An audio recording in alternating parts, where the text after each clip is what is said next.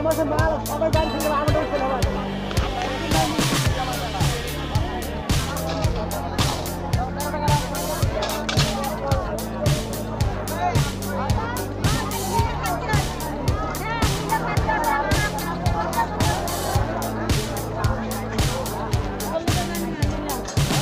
Thank